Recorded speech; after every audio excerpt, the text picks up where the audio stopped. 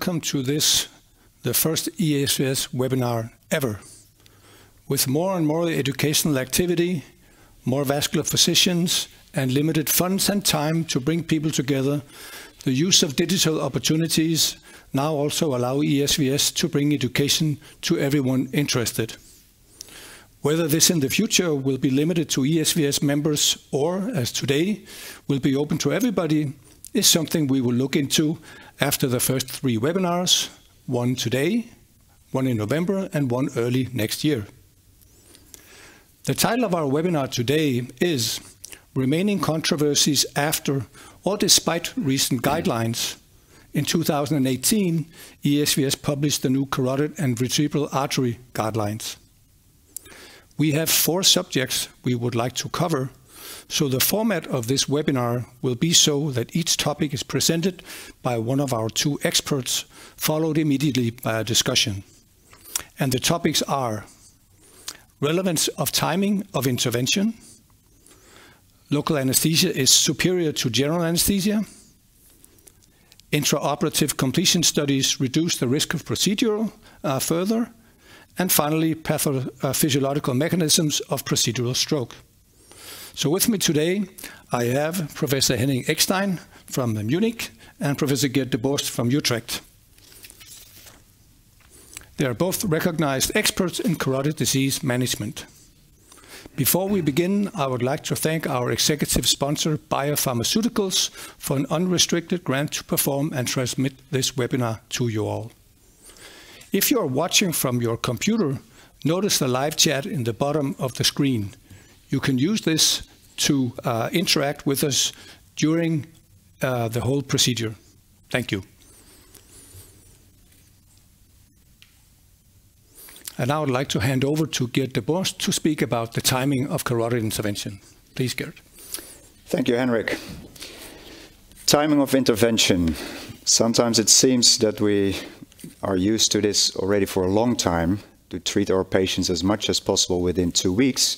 But I put on this first slide of the old, the previous carotid guidelines uh, published in 2009, actually showing you the difference between the ESVS guidelines and the American counterpart by the SVS, where the ESVS had already uptaken a recommendation on timing to do this within two weeks, while the Americans had not just uh, uptaken a recommendation yet.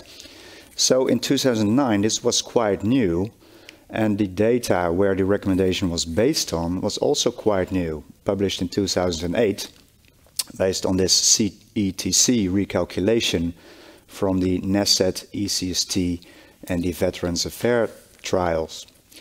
This table shows you the absolute risk reduction conferred by CEA in the five-year cumulative risk of ipsilateral stroke for both the 50 to 69% stenosis and the higher degree over 70% stenosis. And this table is split out for the timing. And as you can see, when there's longer delay in your intervention from the uh, event, the number needed to treat, to treat NNT goes up. So this suggests that the earlier you treat, the more strokes you can prevent. However, and we are talking about remaining controversies uh, after the guidelines, you can see that this table was created from time since randomization and not from time since the event. And I come back to that later on in this presentation. So why is this so? Why is it relevant to perform your uh, intervention quite early after the event? Well, as you probably all well know, this is mostly because the event rate after the first event for a recurrent event is quite high and much higher than previously estimated. In the past, it was believed that this was around 5%, maybe at one month, but it has been shown to be even up to 17% within the first 72 hours. This is also reflected in this graph with the arrow pointing at the two weeks threshold and showing that this difference exists actually both for patients that had a minor stroke and also patients that had a TIA as the primary event. both patients with TIA and with minor stroke have the highest rate of recurrent events in the very early days after the very first event. So this is clearly uh, the period in uh, where we as interventionists can uh, treat our patients and try to prevent these further strokes. So this brings us to the most recent guideline. This was uh, published online in 2017 and in print in 2018 and available for all of you uh, free from access. And this recommendation, um, scored as a class 1A recommendation, actually then also states that in symptomatic patients with a over 50% high degree stenosis, it is recommended to perform the intervention as soon as possible and preferably within 14 days of onset. So the old school timing criteria of the risk for second uh, severe stroke can go to the garbage because we now know that the uh, risk is actually very high in the very early days. But how about the uh, risk of early surgery? Because there will also be some papers that suggest that the risk of early intervention is high. There are some papers in the literature um, de uh, dealing with this uh, question. This is the group from uh, New York by Caron Rockman, also showing a decline in operative risk when you delay your intervention uh, for one month or longer, and also showing the highest risk uh, here on the left of 7.5% uh, stroke and death when you perform your intervention in the first week. And there's more data also on the risk of early stenting, this time uh, from Vilvock et al., uh, actually showing that the risk of early surgery seems relatively acceptable and low when you perform your intervention in the very early days, while the risk of stenting here in the black bullets seem to be especially high when performed in the very early days. And based on this study and others, the ESVS guideline therefore recommended another 1A recommendation that when you perform your intervention within 14 days of symptoms, the patient should undergo carotid endarterectomy rather than stenting. There's more data on this, and that's based on a uh, collaborate between the European trials comparing surgery with stenting. And this shows exactly the same type of data and outcomes, where the outcomes of surgery seem quite acceptable, with outcomes of stroke and death around 3%, while the data and outcome of stenting are quite high, and astonishing 9% when performed in the very early days after the event. So this is important data. But so what is new and what do I want to uh, reaffirm today is mostly that we need a uniform definition of what is called the index event because this has been used quite heterogeneously in the literature so far. And this slide gives you an impression of what I mean. This slide shows you all the randomized studies comparing stenting with surgery. And as you can see, some of these studies not even mentioned the definition of timing or uh, used uh, to treat patients with symptoms in the previous, uh, before three months. But there are also interesting data from CREST within one randomized trial using three different definitions of timing. And that's not what we can use if we want to compare data on outcome and the relevance of timing. So when we want to define a uniform definition, uh, you have several options summarized here. But I think it's clear to all of us that for the patient, from the patient perspective, there's only one definition relevant, and that's the very first event to the time of revascularization. So coming back to my first table that I showed to you, revealing the data by Rothwell and the CETC, they reported the date from randomization. And I think that should not uh, be done in the future again. We should only report from very first event to revascularization. So how uh, updated are the trials on which we base our current practice, on which we base um, the recommendations on surgery to stenting? And this is quite a busy slide, but it overviews the, um, the European trials on stenting versus surgery and also CREST from the US. And I'd like to focus on the lower half of the slide, reporting on timing from qualifying event. So that, not, that does not necessarily mean very first event, but at least the event that brought the patient to the hospital uh, for the several trials. And you can see that actually also the, the data are quite limited on expedited intervention with two trials uh, not reporting uh, data on timing in the, in the beginning and the other trials among which the largest trial we have so far on symptomatic patients comparing stenting with surgery, the ICSS, with only one out of four patients being treated within four weeks. And that means we only have very scarce data on the safety of very early surgery and especially on the safety of very early stenting. So there's some work to do for us. So for today, I think that's the most important uh, issue. When, when we talk about timing of intervention, uh, especially for future studies, we need to be sure what, what we are talking about. What was the uh, timing revealing to? and I think the definition should refer to index event from the very first event that the patient had. And we also need uh, absolutely more data on safety of stenting in the very early phase. But also, um, when we delay our intervention uh, using current medication, we need to know how many events may occur in that waiting time, because also those data are still relevant. That's it for now, Mr. Chairman. Thank you very much, Gert. And uh, we're having some nice activity on the um, uh, on on the chat line.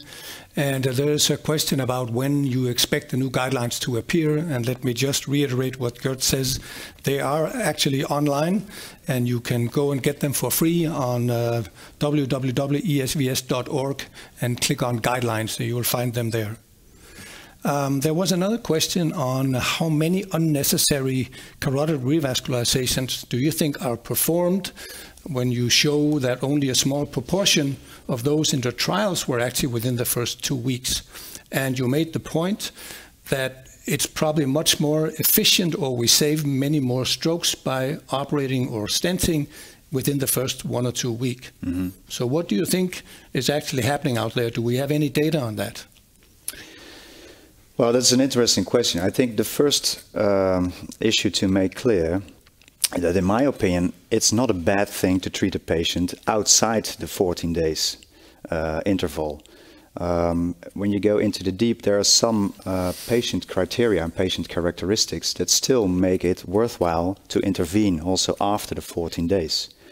So that, that's issue number one. And that may, for example, in the Netherlands, of relevance also for political reasons, because uh, doctors, but also hospitals, are accounted for the percentage of patients that they treat within 14 days. Um, that's in itself uh, uh, uh, very good. But on the other hand, patients may be withheld an intervention when they are uh, on day 16, while they still may benefit from the intervention. Um, that may especially account for patients with a stroke, for male patients, probably less for women with ocular symptoms. And that is something I think we could potentially derive from the ongoing European carotid surgery trial number two, which is especially focusing on symptomatic patients with a potential low risk for a recurrent event. Henning. Thank you, Gert. Very nice talk. Uh, I would love to come back to this uh, issue of index events. Uh, I think it's just not only the index event, because not just a few patients show up with a TIA two weeks ago, then an amaurosis one week ago, then a minor stroke, etc., or the other way around. So shouldn't we add not only index event, but also say the last index event is is the, the, the time, point in time when the clock is running, or the first one? What do you think? Yeah, you raise a very important uh, topic, especially when our patients presenting with ocular symptoms. Mm. They may have a, a, serious delay because it's not recognized as a vascular symptom from the beginning. Um, so I absolutely agree that we should be aware on the type of symptom and also on the type of recurrent symptom. And on a personal note, but that refers to your previous question, and I don't think we have real data on that, but I believe that on patients uh, that had a quite severe but still minor stroke, they may benefit from a short delay to intervention, few days, while patients with a single TIA and ocular symptoms, when we catch them in the early days, they can be safely treated in the very early phase when they enter the hospital. But that's, that's personal opinion. We don't have any data on that. I know from the Danish Vascular Registry that the average time from referral to we operate them, referral to vascular surgery, we operate them is around 10 days. And yeah. then there's typically a few days from the symptoms until they get referred to us, which is typically very quick. Do you have data from the big German registry, Henning? Uh, well, we have uh, we had four weeks 10 to 12 years ago, delay between the onset of symptoms and revascularization, mostly carotid endarterectomy, but we came down over the last years to eight to nine days on okay. average. And I wonder a little bit because Denmark has a centralized healthcare system, so especially those things should work yeah. better. That, that's a long discussion. Um, maybe we should avoid that here because that becomes more administrative uh, and okay. uh, logistic than it becomes something about the disease. Mm-hmm. We're having a lot of questions, which is uh, great, and I'm going to ask you both who should perform the duplex scanner carotids to make the decision to perform surgery? I presume the question is relates to is it something the surgeon does or the surgeon's department or radiology? Or what's your opinion?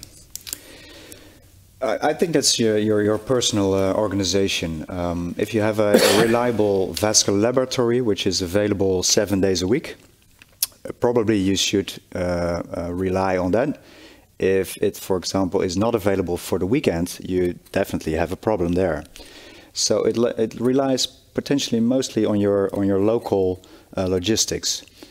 Um, to be sure, I don't believe that you should do an intervention in the middle of the night if you have a symptomatic patient coming in, for example, at, at 5 or 6 o'clock in the evening, I think you should do the workup at that time, uh, especially the imaging, and the, so that you have the type of lesion and the characteristics of the patients, and then schedule your intervention for the next morning if you want to do the expedited intervention. But yeah. I don't see any need uh, to have it to have it. So so okay, let's. I mean, we have questions on the timing also. So let let's uh, take that a little bit further. So you have this patient that comes in with some kind of a stroke, and you do the imaging and you find a, a, a amenable lesion, and you say yes, there is indication. Is there anything in the level or the severity of the stroke that would prohibit you from operating the next day, if you could? Well, stroke severity as, as, as defined by Rankin scale is by minor and major and there has been some criteria defined in the in the past such as uh, floating symptoms or unstable symptoms so called uh, that's quite different from repetitive TIAs that's quite a different group because I think that repetitive TIAs are a perfect indication to perform expedited intervention. But when you have unstable uh, uh, uh, severity of symptoms or also, um, for example, changes in consciousness, I think that's a very dangerous condition and where you might delay on purpose and not perform expedited intervention. But remaining paresis of an extremity will not inhibit you or stop you from operating? No. No? no. Henning? No, no just uh, I, am absolutely with you. I think this is a great, a great, a sort of a gray zone between early or urgent but still elective reconstructions or surgeries and true emergency cases. I mean, if you have a patient with a true crescendo TIA and he shows up with a minor stroke and has a flotating thrombus in the carotid bifurcation, this is surely a true emergency case also for the night to be done. Mm-hmm. Uh, others who came in and said, well, it's getting better, It was was worse a couple of hours ago, but now it's getting better. Those are the ones who can stabilize for a couple of days to get to a neurological plateau phase. So it is a very individualized approach. And Great. it's not only on us, it's also on, on, on, on the st- uh, stroke physician side. Exactly. So needs need collaboration. Just a short remark from my side. I think every trainee and every vascular surgeon should be able to perform carotid duplex ultrasound on its own.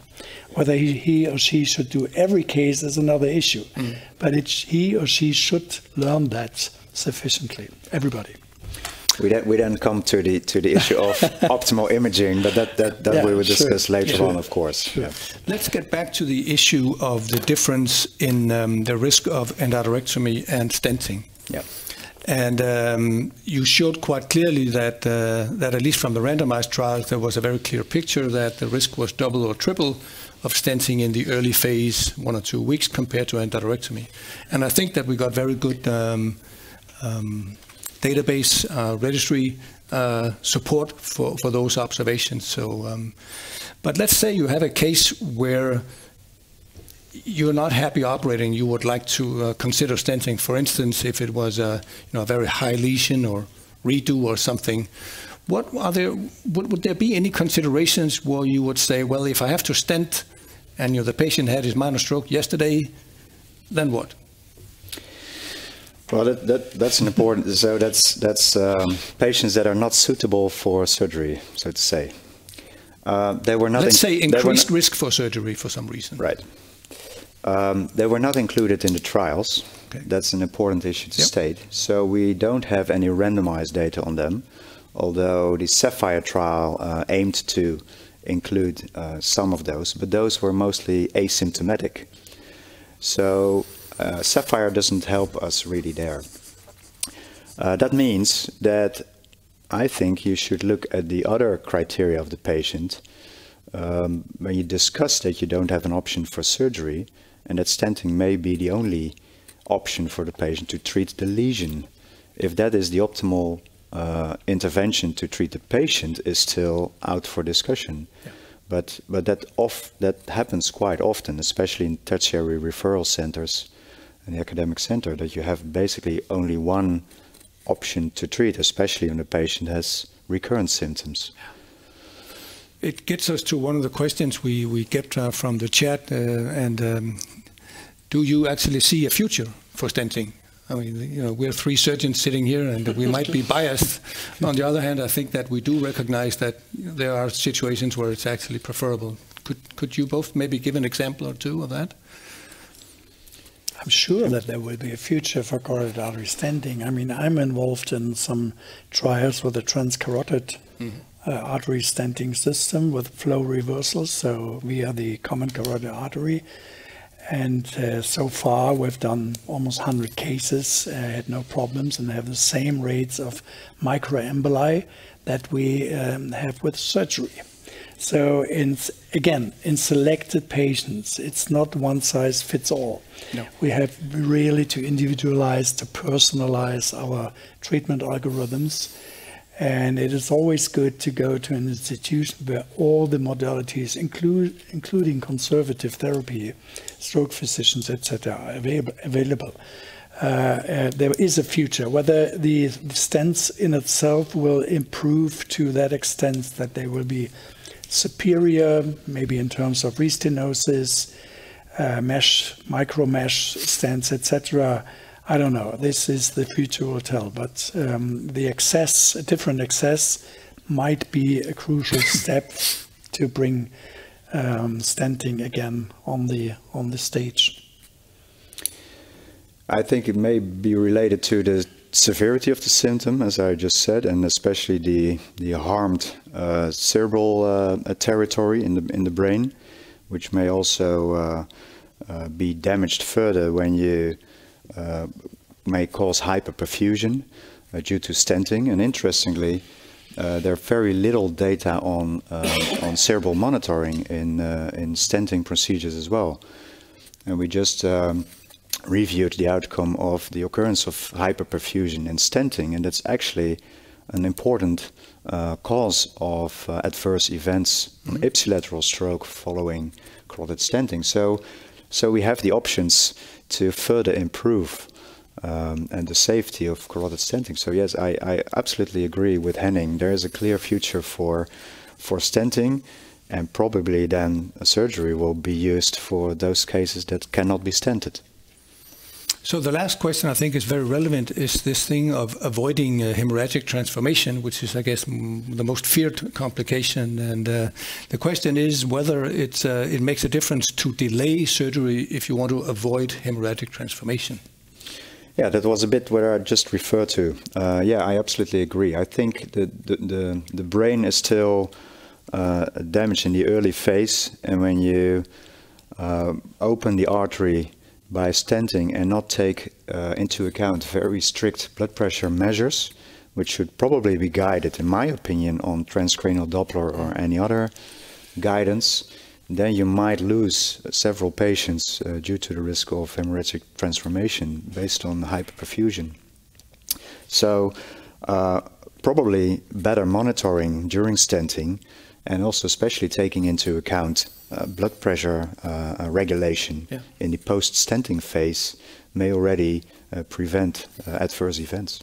And regarding the blood pressure, you always need to remember that the brain has been living behind a stenosis, so it's used to a lower pressure than what we normally would call a normal pressure.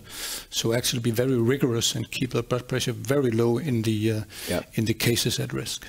We have we have uh, large experience with the definition of patients as risk for hyperperfusion uh, on surgery, uh, also based on transcranial Doppler protocol, and those patients can be referred to uh, medium care ward yeah. or even intensive care, and a very strict blood pressure uh, lowering therapy. Um, if the transcranial Doppler shows that there's not a significant increase in in, um, in the uh, middle cerebral artery territory, then you can safely uh, discharge these patients, even if the blood pressure is a little bit on yeah. the on the higher side, and you can do it on the outpatient ward. So that's a, an important measure to to uh, um, treat patients on an individual basis. So I think that we should uh, continue to our next item. Uh, this is very exciting with the timing, but now we uh, made the, indication and now we need to operate a case. And uh, Henning, please tell us, local anesthesia, is that really superior to general anesthesia? Yes, thank you very much. Hello, everybody, and thanks for the congratulations that we just reading here to this format of the ESVS webinar. This congratulations go to the current president of the ESVS, Henrik Sillesen. My um, idea was to talk a little bit about issues uh, that might improve the procedural results of carotid surgery. And the part one is local anesthesia is superior to general anesthesia. Uh, these are my disclosures. Nothing of them uh, are related to the talk. If you look at the uh, guideline from the ESVS in conjunction with the European Society of Cardiology, by the way, we have recommendation 49, very strong recommendation, level 1. It is recommended that choice of anesthesia for CA, uh, general versus local regional, should be left to the surgical team's discretion.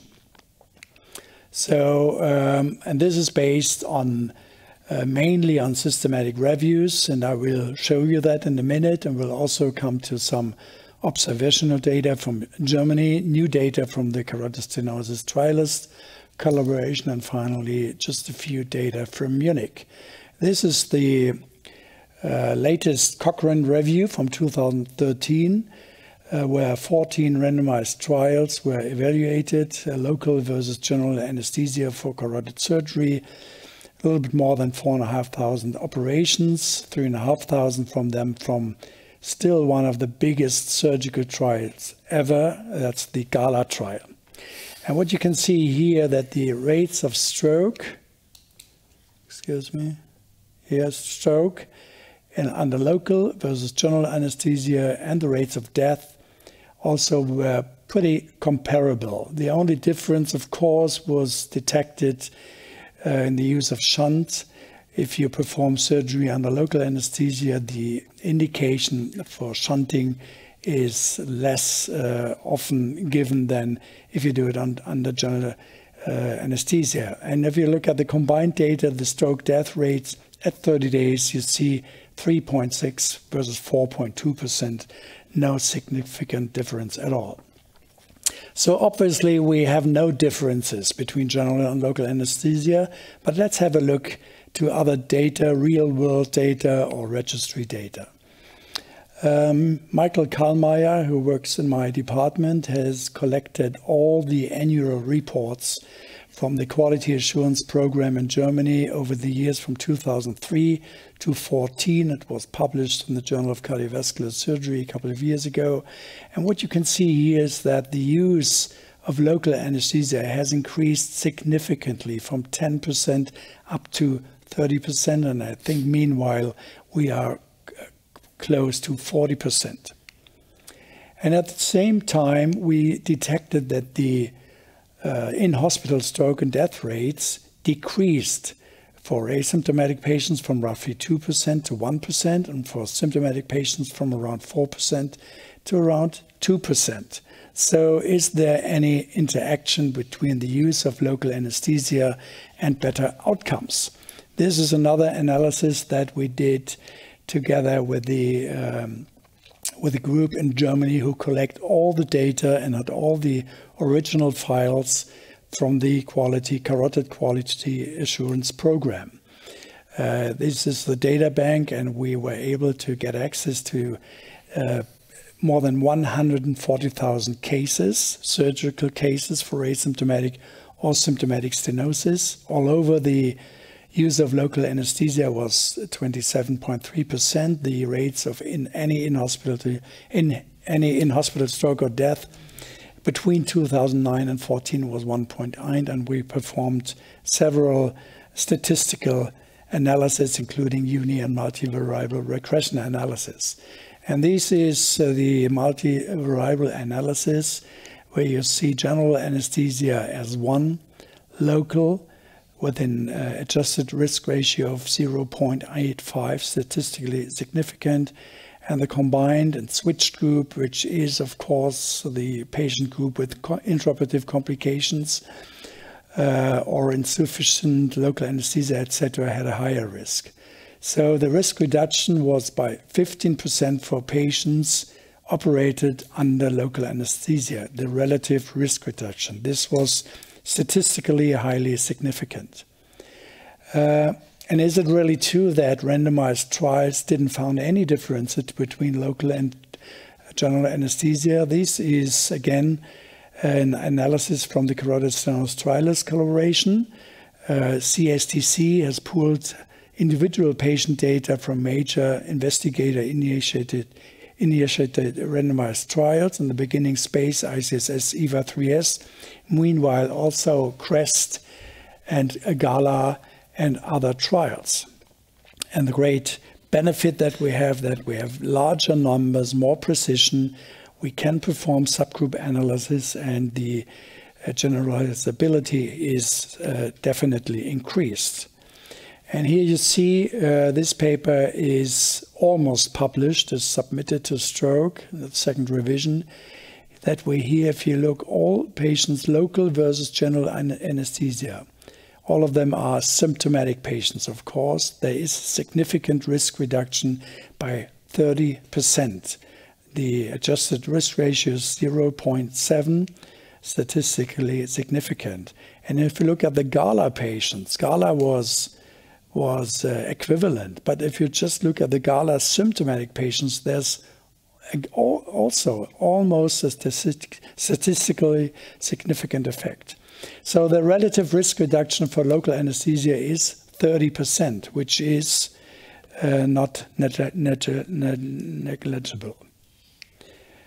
Um, this is another uh, sub, sub uh, analysis of a randomized trial, namely the CREST trials, and they looked at the anesthetic type and the risk of myocardial infarction after CEA in CREST, published in the Journal of Vascular Surgery 2016.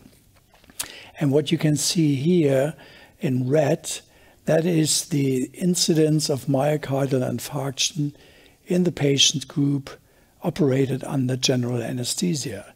And the two upper lines are the patients group operated under local anesthesia, not very many, but uh, more than more than 100, and the patients treated by stenting. And you see that, and we discussed that so often, the different MI rates uh, in, in CREST. And if you look at the type of anesthesia, you see that the MI rates after carotid stenting were very, very similar to the MI rates after CEA under local anesthesia. This is, I think, a very important observation. How do we do in Munich? You see, we started with general anesthesia, but over the years, the numbers has declined to less than 10% now. Uh, and uh, on the other hand, the numbers of local anesthesia has declined. And similar to the observation that we made in Germany, uh, the in-hospital stroke and death rates decreased from 2.4% down to 1% in asymptomatic patients and 3.5% down to about 2% in symptomatic patients. Uh, we will look at that uh, in more in detail um, in the near future. So in summary, CEA under local or local regional anesthesia comes with lower stroke death and MI rates. It gives you a perfect neuromonitoring. Shunting can be performed very selectively. I think patients should be informed about uh, the pros and cons of local and general anesthesia, and of course, it needs a very close collaboration of surgeon anesthetists. This is a video from our department. This is from a paper. Uh, how to to you to make it, and very important that this sort of local anesthesia is performed under ultrasound control. That is something that has not been performed in GALA, as long as I know. So thank you very much. I'm happy to take questions. Thank you very much, Henning. Uh, I think you made a uh, good case um, despite the um, guidelines. uh, but uh, let me ask you to speculate. Let's say that we, the, I think the data looks uh, clear. can you, but can you explain why? What is it that makes local better than general? Well, if, if we look at the, I mean, we should distinguish, I think, between stroke rates and myocardial infarction. Sure. I think stroke the stroke rates are lower due to the fact that the person the patient is awake. You have a very you have a perfect neurological control. You can talk to the patients, the anesthetist can talk, all the nurses, and we give them and many do that, give them in a duck, a small duck mm. to squeeze in the opposite hand, and we always talk with them. So Some, and, and it is really a matter of fact that they start up with conversations and talking about her life or yeah. Uh, their lives, etc. So this is very, very good. The second, uh, and this may be may relate to the lower incidence of myocardial infarction, that the blood pressure management is easier. Uh, patients really have the, the, the blood pressure will be increased in the clamping time, let's say up to 150 or 60 systolically and then it goes down to 130 and 40 again after declamping, and that's it. No further increase of uh, hypertension that we, at least I observed so often in the awakening fast yeah. that it goes up. And I think this uh, reduces myocardial stress and may have a positive impact on the lower incidence of myocardial infarction. So, I, find that, sorry, I find that interesting because um, does that mean that you have an anesthesiologist on the OR or on the oh, intervention yeah. room? Always. Always, always, always. So, because I think that's an important issue also to bring to the audience, because some think that doing it on a local makes it, it just the patient and the surgeon, but that's mm -hmm. not mm-hmm. true. The whole team, including the anesthesiologist, is still intact to to adjust, for example, on blood pressure when when needed.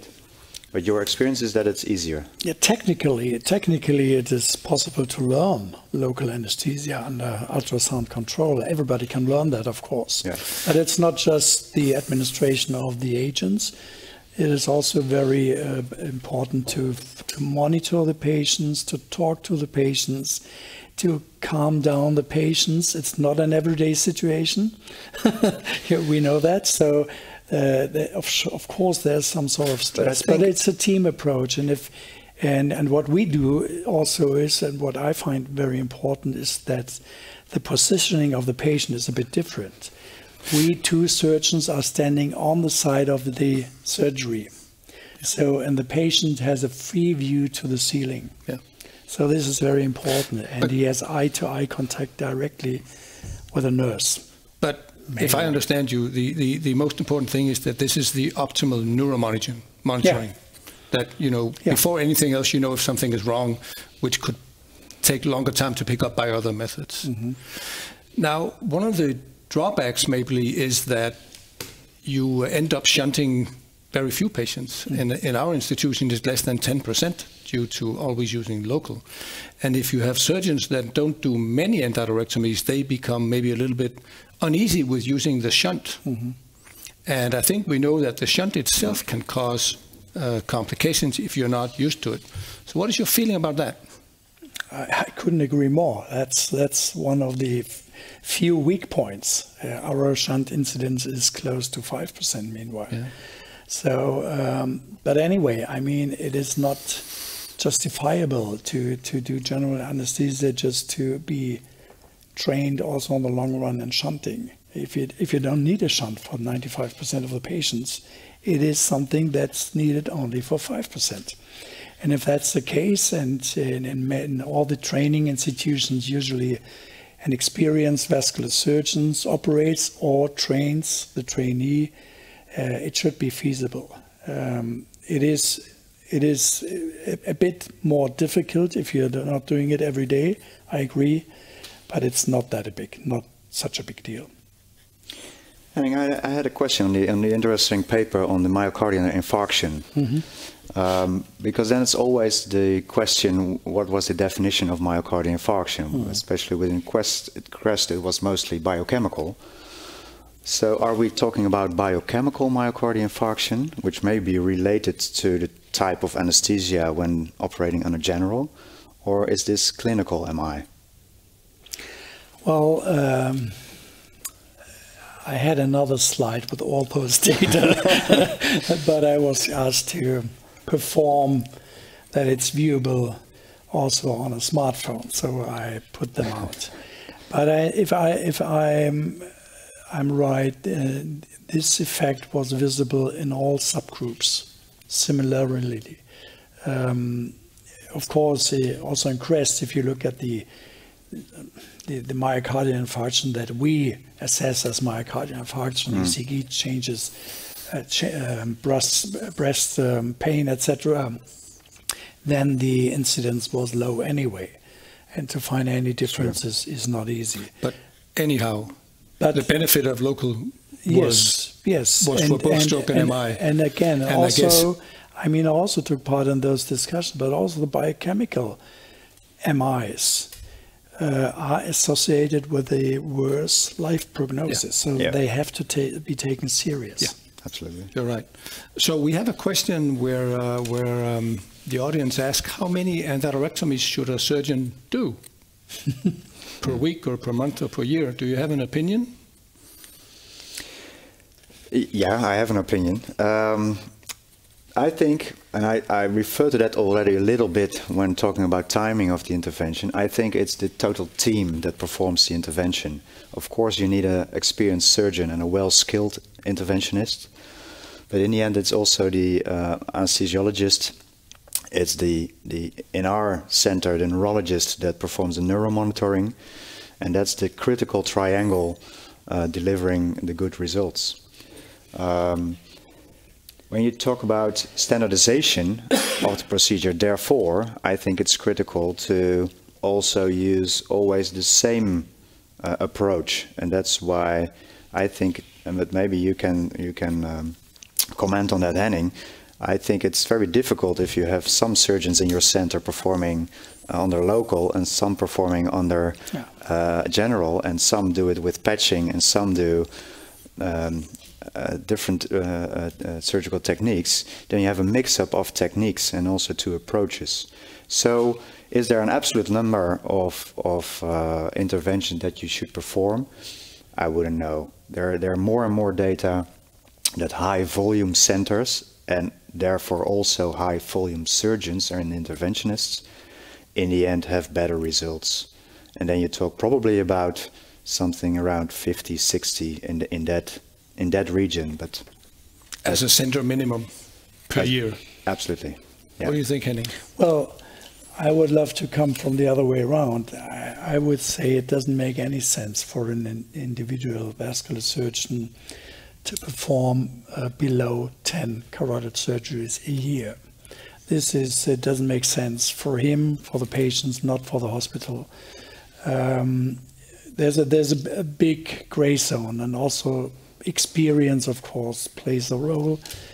And um, I would say, on average, a carotid surgeon should perform at least 25 surgeries per year, which equals to two cases a month. But this is the, the lower the lower limit. Okay.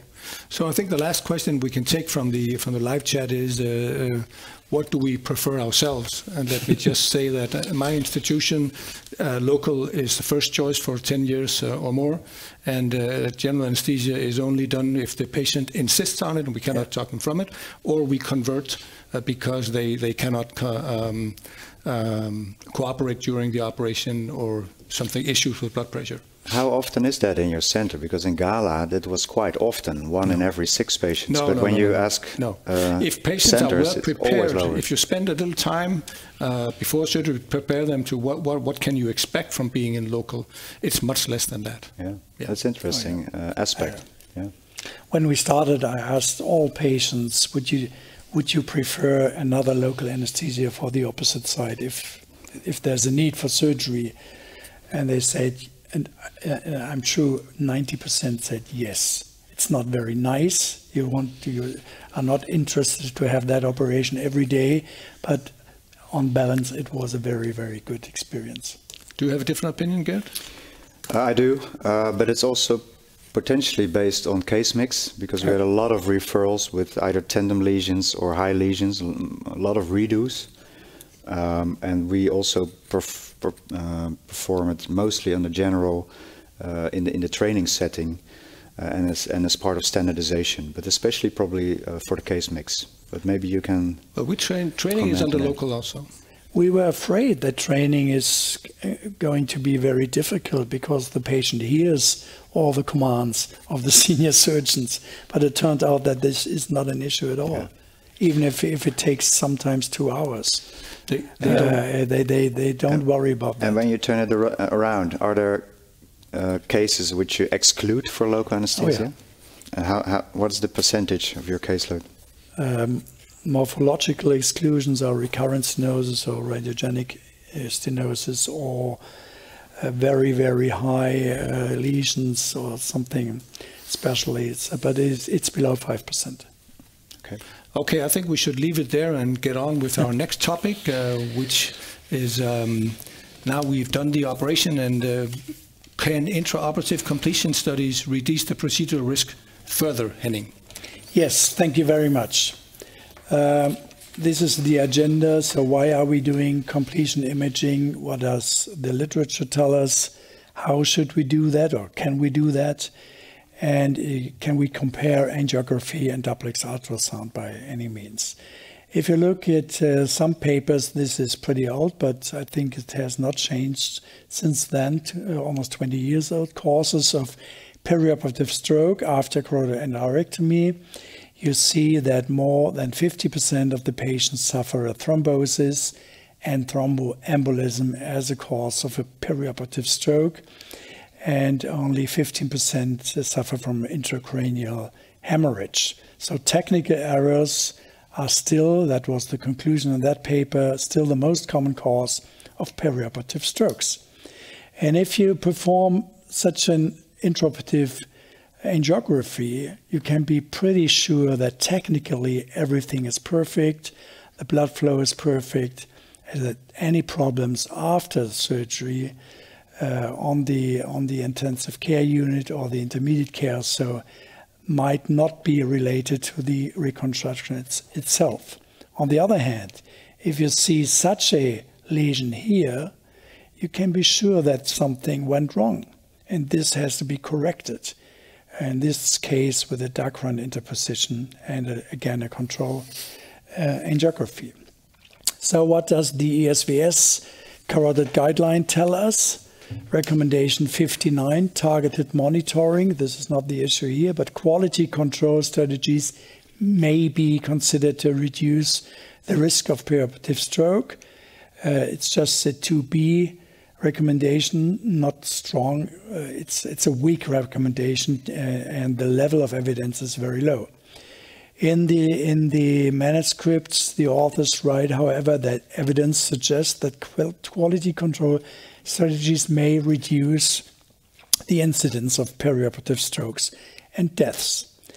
Uh, many papers are out there in the literature, some of them from the 80s or 90s of the last century, and no randomized trials at all, no head to head comparisons between either angiography or duplex ultrasound or no control and uh, angiography or no control and duplex ultrasound. So, no true head to head um, com um, comparisons. Uh, different revision criteria, which makes things life even a bit more complicated, and all over the revision rates varied between 3 and 8 percent. So, are there any new data on intraoperative control imaging after CEA? Again, we come to the German Carotid Registry and the paper from Michael Kallmayer from 2015. I mentioned already that we observed a, um, a, reduction of the in hospital stroke and death rates, both for symptomatic and symptomatic patients.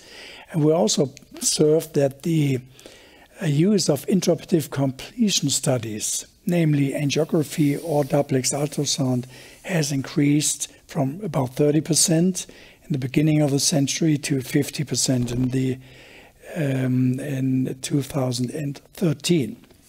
And again, we looked at the original data. I mentioned that in my earlier talk, more than 140,000 patients or almost 140,000 cases. and in the multivariable analysis, we detected that angiography and the use of angiography and ultrasound during the surgery were associated with a significant decrease of in hospital stroke and death rates, namely 20% by angiography and um, 26% by uh, duplex ultrasound. So, this was not the case for flow measurements or other techniques. So how do we do this? This is uh, we make a puncture of the common carotid artery. Patient is under local anesthesia.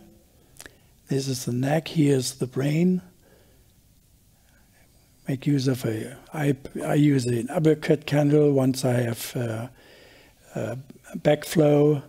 Can connect it with a um, extension line this extension line should also be filled. Um, please avoid any air bubbles in the line. That could be dangerous. Very important. And then we fix the extension line here and uh, clamp with a Yasargil clamp the external carotid artery for the first image. This is the situation in our hybrid OR. Um, where you can position the C arm perfectly. You can make uh, two different positions from the side and from uh, AP if it's necessary, but usually one, one um, pro projection is fine. And this is the first angio with a clamped external carotid artery, perfect result. And the other one comes a bit later. So now the external carotid artery has been declamped and also this, the external is patent. So are there any differences between angiography and duplex ultrasound and which findings should be corrected? Um, this is the machine that we use for uh, ultrasound. Comes from Norway, from the Medistim company, with a very small probe, which can be adjusted to the common carotid artery and also the reconstructed internal carotid artery.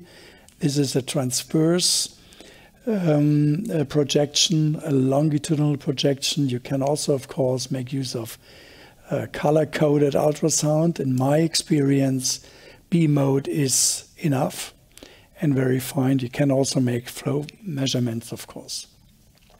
If you see this edge, something like this, and you see it very, very nicely. This is not flotating, but that was an inversion eversion endarterectomy with an edge at the end. And I think this, I would feel better if that's corrected. If you see this sort of uh, mobile material, which were thrombi and left debris, actually, it should be removed, of course, and, and another control then after the removal shows you that everything is fine now. so we performed a small trial, so-called CDUC trial, comparison of intraoperative duplex ultrasound and angio after CEA. It's a consecutive series of 150 patients.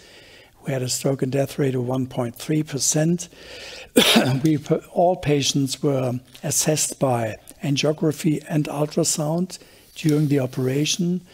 The, uh, the number of technical defects were in the range of 12%. and 9% we detected severe defects, a bit more uh, by duplex ultrasound than by angio.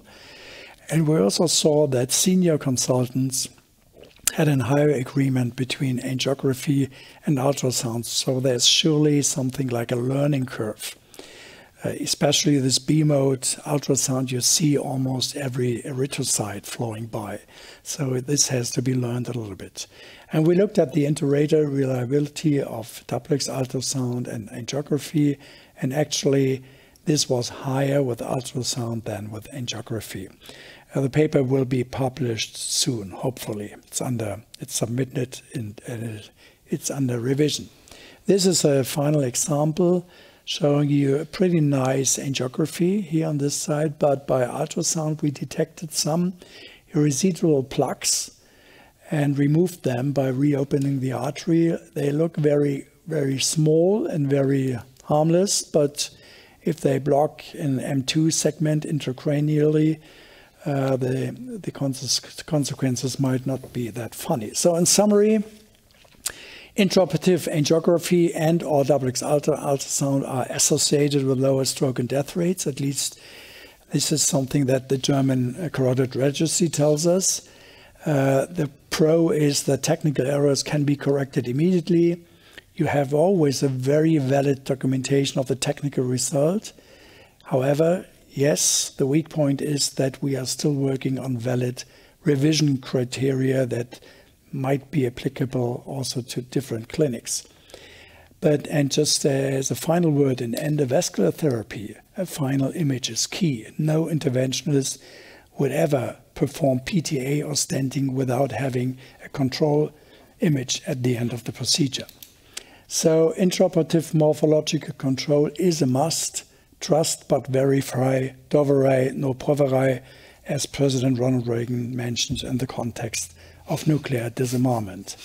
thank you very much, and I'm happy again to take some questions. Well, thank you very much, uh, Henning. Uh, this was uh, very interesting and uh, nice with uh, some of your own data since we don't have any from bigger trials. Now, we have actually a question that states that angio is not reliable for detection of small but relevant problems in the carotids. And um, there's also a question uh, whether you perform your, all your interactions in your hybrid room. And um, uh, did you give us the answer? Is ultrasound actually preferable? well, let's have the first question first. It's easier to answer. No. Uh, uh, if the hybrid OR is available, we do it there, but we have two other ORs where we have very good C-arm systems, which uh, give us the same, almost the same information. And uh, for ultrasound, it doesn't make a difference whether you work in the hybrid or in a standard OR. Uh, what is better? What is the future? Well, what we learn and are currently learning that uh, ultrasound shows you every detail of your reconstructed artery. And it might come out at the end of the discussion and further data acquisition that if you do CEA under local anesthesia and nothing happens, then you are, can be very, very sure that there's no embolism in the brain. So you just can focus on your local reconstruction. And then ultrasound might be the better choice. By the way, you avoid, of course, radiation and, and contrast medium. And you don't need to use the uh, If you yes, yeah. In, in, if you, but if you operate uh, under general anesthesia routinely and you don't have any other neuromonitoring indicating, indicating, for example, an M1 occlusion intraoperatively, then uh, angiography has truly the benefit that you can visualize not the not just the bifurcation but also the intracranial arteries uh, in different projections. That might also help individual. I, I would say, uh, practically thinking, ultrasound might be the future, but angio is still needed in certain under certain circumstances and should be available yeah. in every OR. Good. Yeah, I wondered, and uh, you, you perform mostly the surgery under local anesthesia mm -hmm. and always with the completion, but do you use any other uh, cerebral monitoring tools during no. the... We used uh, everything from TCD, SEP, sometimes also EEG, but we or NIRS, near infrared. Yeah. fact, we just we just don't do it any longer. Yeah, I, I was just going to say if the you know if the patient is doing fine and is yeah. awake, and, and you would see a drop in TCD or, or you would see a drop in, in NIRS, what would you do about it? Well, we, exactly. we do it on a general. Yeah. So we have, but we do all the longitudinal endarterectomy. And I think I also understood that you do mostly eversion. Myself, yes, but uh, many training cases are conventional endarterectomies. Okay, and the clamping that's, time that's, might take I think an important 30 issue minutes or so. Because you have a, a good outview on the distal endpoint with the open yeah. longitudinal endarterectomy. That's yeah. your critical phase. You should have a, a, a close look if there's no uh, redundant internal carotid artery, yeah. uh, which may kink or, or cause other obstruction. Sure. And then when you have on your transcranial Doppler any adverse uh, signal, either being uh, embolization uh, or um, a, a, lower flow state than, than, than before surgery or not restoring flow after declamping, then you should really be alert and that leads mostly to reopening the, the carotid artery. So I noticed that in your data set you had um, angiography and you had ultrasound, you also had flowmetry. And I know that historically many of us used to measure flow and when we had the nice high flow with high diastolic velocity, we would be happy. Now, it didn't show uh, the same performance as ultrasound and angiography, and may, it may be clear to some of us, but maybe you would explain why is it that uh, that uh, flowmetry may maybe not is sufficient. Well, uh, first first of all, flow or good flow or bad flow to the brain is only in about 10% of all carotid related strokes the reason for the cerebral ischemia. So it doesn't matter if you have a high flow or low flow after the reconstruction. Uh, in the brain, the autoregulation will will correct that over time. Takes sometimes a little bit. Um, flow measurements are nice to see. Well, we have now 60 to 40 percent. 60 percent goes to the internal, and 40 to the external. This is the normal distribution of the carotid flow. It's nice to have, and uh, but that's it. You, you can't you can't detect any morphological problems or uh, any embolism or any stenosis that you have created, any flaps that have been left. Yeah. Nothing. So uh, it is nice to have. It's more important for distal bypass surgery and sometimes, if you reopen the pseudo occlusion, it might be reasonable to perform also flow measurement on the internal artery to see whether there is any flow after endarterectomy. But these are very, very rare yeah. cases. So let's speculate a little bit about that. You know, the point you're making is that high resolution ultrasound may actually see some flaps or thrombus that mm. may not be easy to see on angio and you say, well, you know, for stenting, imaging is crucial, and they do angio. But then they miss the small things, don't they? Yes. So could stenting become more safe if they added ultrasound? And what should they do about it if they saw something? This is a very clever question. Of course. I never thought about that.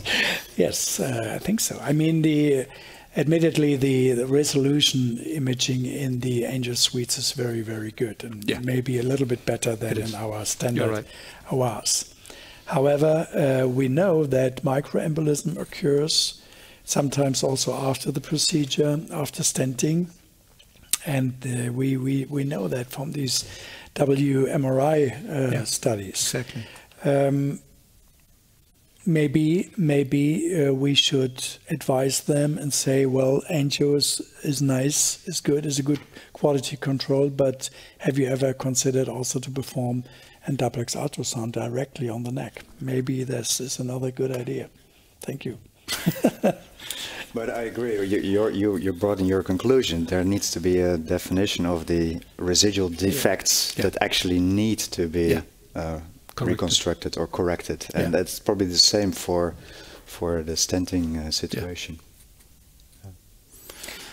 yeah. that's work to be done. I mean, it's clear if you have a good result, nothing to do. If if it's uh, if it's blocked, for example, of course, it has to be reopened. And then there are some severe defects, which you, which I showed you some. Yeah. Uh, this has also to be removed and and to be corrected. But there is still a gray zone. I where we sometimes also discuss leave it or reopen it. Yeah. And the longer we make use of the system, the more we tend to be a bit more liberal and not to correct any small thread floating there. you know. Okay, so uh, maybe we should uh, go to our last uh, topic of today, and uh, that is uh, what are the pathophysiological mechanisms of procedural stroke if it happens? Good. Thank you. Why is this important? Um, I, I, want to show you two recent papers, and both actually come from the uh, collaborative group combining data from the European trials and also including CREST data. Uh, and this paper, uh, published in April uh, this year on the long-term outcome of stenting and endarterectomy, gives a very important message. I start with the upper left part, and you see actually two Kaplan-Meier graphs. And this on the left one, on A, shows you the outcome data of the combined trial data, including the procedural outcome, and number uh, B on the right uh, shows you when you take out the 30-day data, so the procedural outcome is taken out of the graphs, and this just shows you the uh, stroke and death rate during uh, follow-up, uh, showing almost equal outcome for either uh, stented or operated patients. So based on this graph, it seems that the difference is purely made in the beginning on being stented or operated, and then both procedures on the longer term perform equally well. And this uh, basically, uh, graph A and B uh, are uh, referring to the composite outcome, but the very same is true when you look at major stroke for C and D, also uh, very much the same graphs. And as we all know, the difference between stenting and surgery is mostly made by minor strokes, and that is graph E and F, again showing that the difference is made more minor strokes with stenting as compared to surgery, but on the longer term, these patients all uh, do equally well. And graph G and N are on um, uh, all stroke. So this is an important message because it basically says that in the end it's all about the beginning the periprocedural events, they dominate the outcomes of carotid stenting and endarterectomy also on the long term. So it's important to look at the events that are caused by the uh, intervention itself. The second paper I want to uh, uh, have your attention for is this one, also a very recent uh, paper by the CSTC collaborative group. And this uh, paper looked at the uh, decline of adverse events, um, uh, especially stroke and death, over time. And uh, Henning already mentioned in his previous slide that also in Germany the, the event rate is going down over time.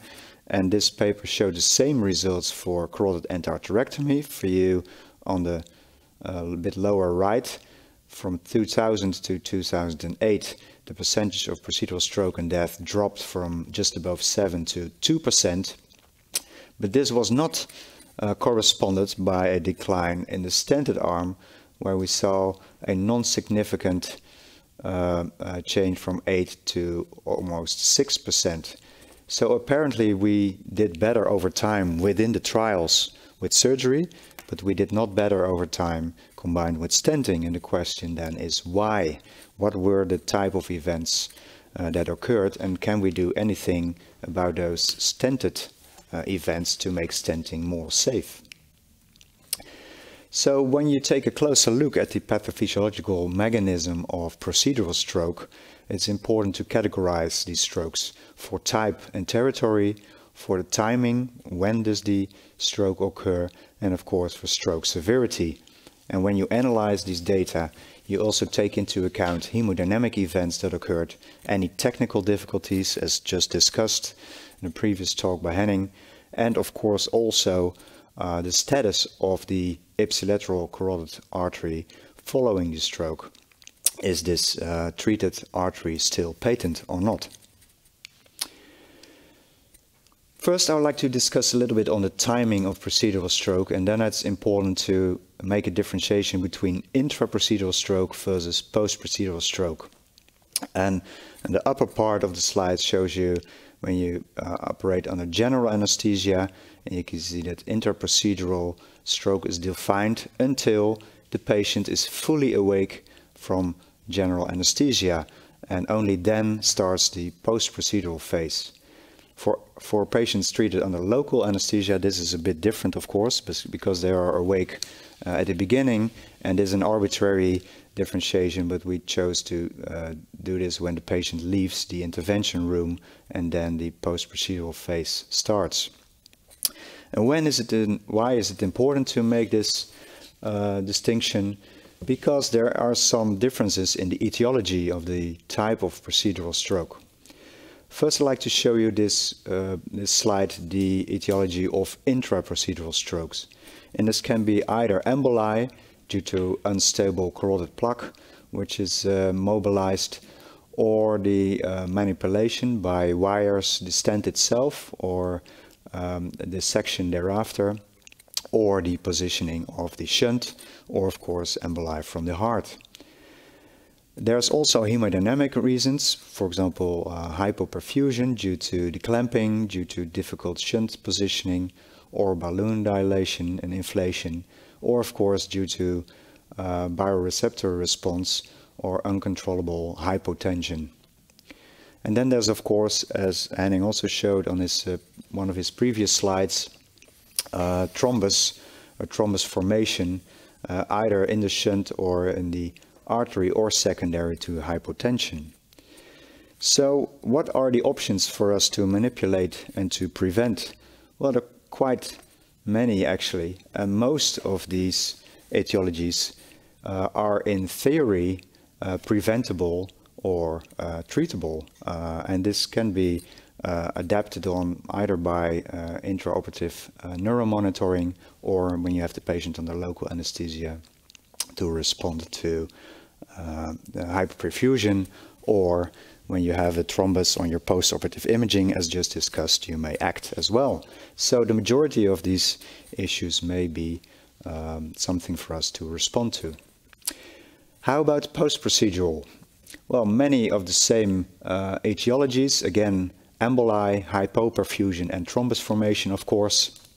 The emboli this time may come from the end arterectomized surface or intimal flaps, or from the origin of the external carotid artery when it's insufficiently disobstructed, or again from cardiac emboli.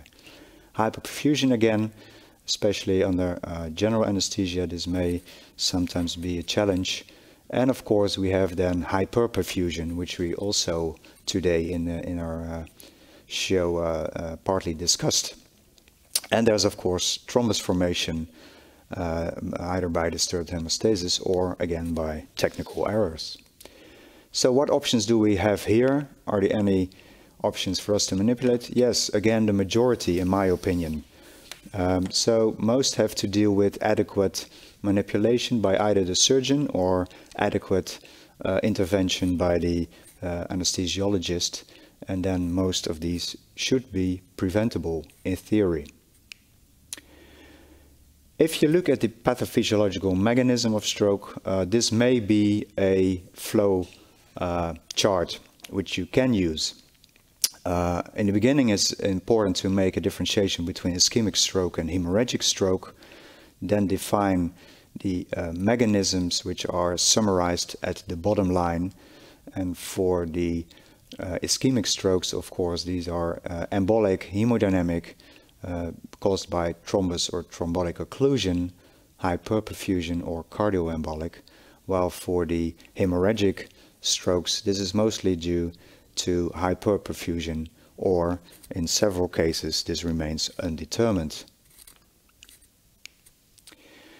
I will show you some slides now of an analysis we did within the ICSS trial and uh, this refers to about 27 uh, patients that had a stroke because of following surgery and 58 uh, patients with a procedural stroke due to stenting, all of them, of course, within ICSS symptomatic patients at baseline. And when you look at stroke type, you can see that the majority of patients, almost all in the stenting arm, are of ischemic origin, while in the surgical arm, still one in every five strokes is related to hemorrhagic stroke. When you look at the arterial territory, so on which side does the stroke occur, you can see that all uh, independent of the type of intervention, just is uh, 90% ipsilateral and just a few on the contralateral uh, hemisphere. Concerning uh, severity, also already a bit discussed, you can see that the majority of uh, strokes in the stenting arm is of course minor stroke and non-disabling, while this is a bit the other way around. In the uh, surgical arm, there were less strokes, but from the 27 strokes that did occur, um, uh, uh almost two-thirds were uh, disabling. How about the timing of stroke? I explained this is relevant for the mechanism and also for your options to respond if it's intra-procedural or post-procedural. And here you can see the differentiation between day zero, the day of the intervention in the yellow circle, and you can see that the majority of the events due to stenting occurred on the day of the procedure, while for surgery, more than half of the events occurred in the days after on day 1 to day 30. Again, this is all in symptomatic patients, ICSS data. How about patency of the carotid artery? And this is something that was really astonishing when we did this uh, analysis, actually, because um, we believe that it's always crucial to have not only the brain imaged after the stroke, but also the treated artery. Uh, but to our surprise, we found that although some patients did have imaging, as you can see here, with some of them indeed uh, residual stenosis or maybe residual defects, and some of them a uh, acute occlusion of the artery, the most astonishing fact was that in the, in, in the major part of patients, there was no assessment of patency performed at all. Uh, and I also include on the right-hand side here the uh, data because we did the same analysis within ACST uh, where we so asymptomatic patients and it revealed almost the same. Again, almost in half the patients with a procedural stroke, there was not an assessment of the treated artery. I think we can do better here.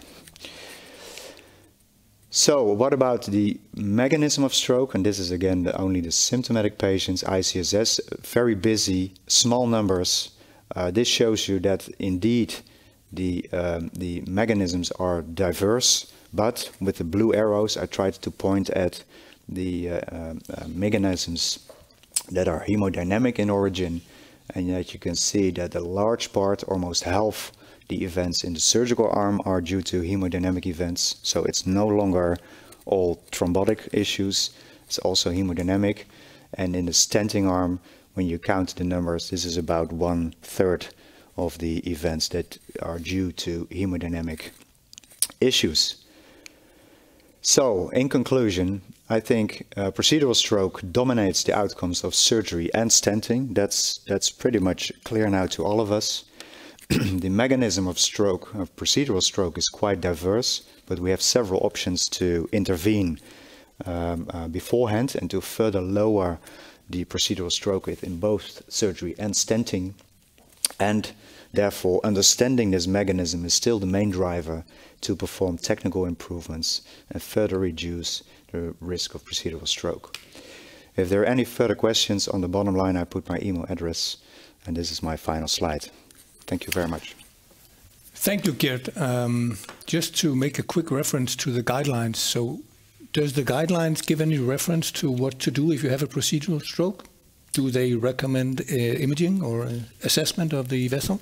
No, there are no recommendations, and this is uh, quite a difficult topic. We are about to finish a Delphi uh, consensus on this, how to respond. Mm-hmm. Again, how to respond when you notice, for example, on monitoring that during surgery you have an adverse event, or the other hand around, one day after the procedure, the patient develops a stroke. What to do?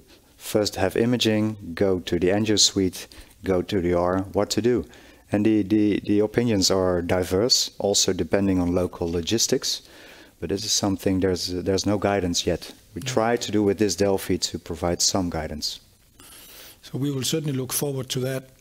One thing that uh, was striking, although small numbers, uh, was that the uh, incidence of hemorrhagic stroke seemed higher after surgery. Yep. Why is that? That's very interesting. We have not a clue in this in this series, but I I could think of again hemodynamic uh, causes there, and and a, uh, a um, uh, as Henning also stated, the the intraoperative issues with uh, hemodynamic control, which may be more difficult during general surgery than under local uh, surgery, reflecting also the risk for hyperperfusion after the after the intervention. But you know, we do have some, let's say, at least partly historical data that tells us that the patients who are at high risk for developing hyperperfusion are those who are most severely compromised before the operation. And these were randomized data, so they, you know, theoretically they should have been equally distributed. That's true. But I guess this was small, small numbers, so it's 27 versus yeah. 56 strokes, but uh, and one in, in every 10. Henning. Gert, thank you. I was a bit surprised that uh, so many patients suffered a a perioperative stroke due to hemodynamic reasons. How, how was that defined? What does that mean? Is it an imaging issue from the CT afterwards, or uh, how, how did you define hemodynamic yeah. perioperative strokes? Yeah, that's of course very uh, relevant. Uh, the details are actually in the in the in the paper in uh, 2015 in our journal, European Journal, of course. Um, but it, it, was quite well defined beforehand. Either uh, atrium flutters or uh, hemodynamic depression with a, with a mean arterial blood pressure below a certain uh, pre-analysis um, defined uh, threshold. So we had quite some some serious and, and strictly defined characterization of the hemodynamic compromise. Mm -hmm. Because I, this is of course crucial because mm -hmm. otherwise that will be the, uh, the point of discussion afterwards. Yeah.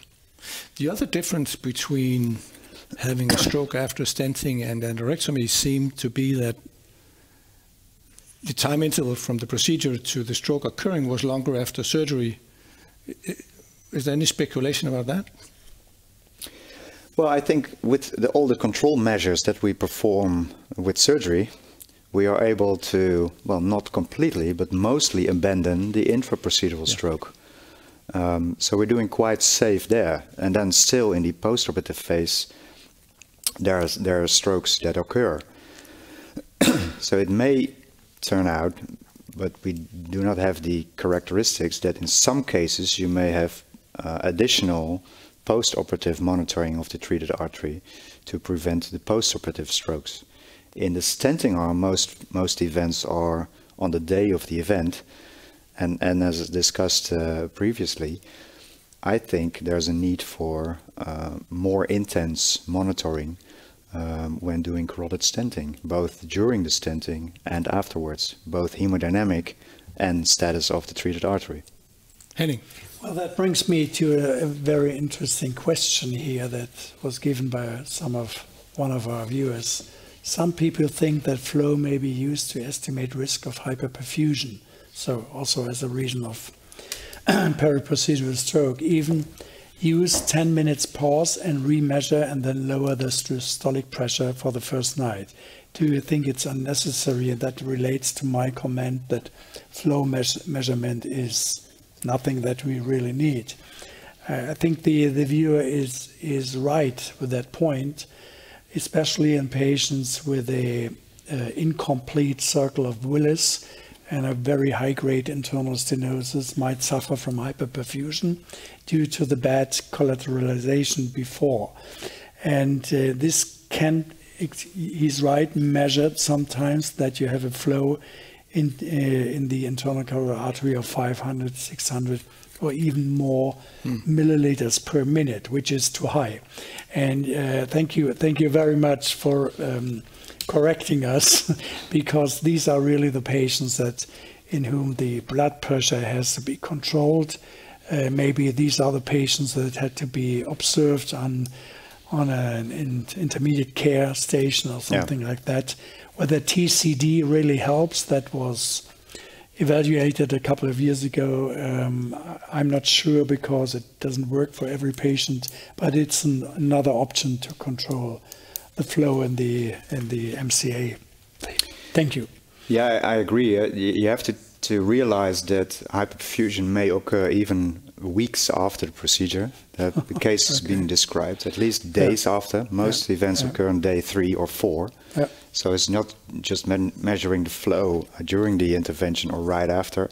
We have the protocol now defined as two hours after the closure, after skin closure, and then the next morning again. And in the cases where you have a, a stable uh, uh, level, you can safely discharge them. When you see an increase in flow, but below the absolute threshold, below 100 on the second measurement, we consider those at a special high risk for hyperfusion. And we, we perform in those cases already a blood pressure, uh, strict blood pressure uh, mm. protocol. And the ones that are above 100% increase already at the first measurement, those cases go immediately to the, uh, to the medium care ward will be presented at the ninth Munich Vascular Conference. It will be in Munich.